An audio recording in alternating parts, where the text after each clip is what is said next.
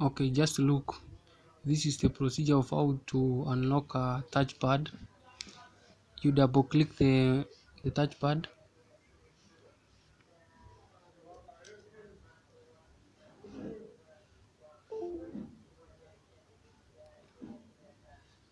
When you see a red light it means that the touchpad is locked and the it, it can't work